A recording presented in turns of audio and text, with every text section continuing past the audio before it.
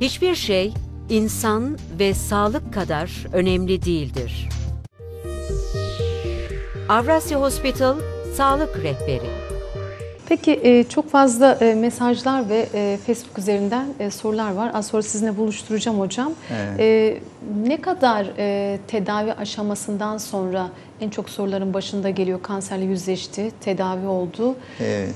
Hangi aşama sonrasında normal hayatına dönüş olabilir? Ha, şöyle mesela diyelim evre bir hasta ameliyat oldu. Ee, işte cerrahi ameliyat oldu. Cerrahinin de şekilleri var. Ona girmeye gerek yok.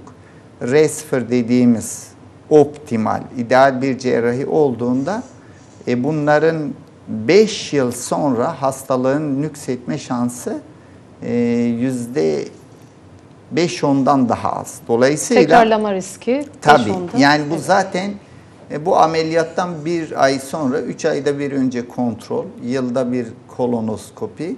Kolonoskopi normal olduktan sonra kolonoskopi aralarında açıyoruz. Bu böyle e, rahat, normal bir yaşam ve takip devam ediyor.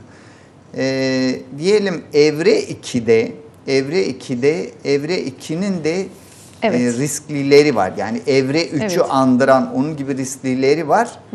O e, evre e, riskli e, evre 2 ile evre 3'leri ameliyattan sonra yaklaşık 6 ay kemoterapi veriyoruz.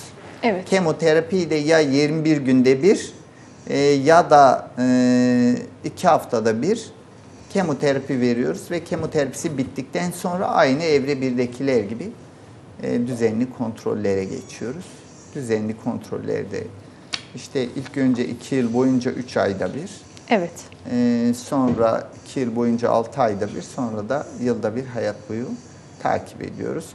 E, bu riskli evre 2 ile evre 3'leri. Bir de evre 4'ler var. Evre 4'lerde e, genellikle sürekli tedavi altında olurlar. Çünkü e, onların şifa oranı e, nispetten düşüktür. Evet. Çok işte ameliyat, kemoterapi, akıllı moleküller tedavi oluyor, geliyor, cevap değerlendiriyorsunuz. Cevap diyelim tedavisi bittiğinde diyorsunuz tamam iyi cevap aldınız bir süre ara verelim. Bir süre sonra tekrar nüksediyor, geliyor. Onun için onlar sürekli doktorla beraber oluyor. Hiçbir şey insan ve sağlık kadar önemli değildir. Avrasya Hospital Sağlık Rehberi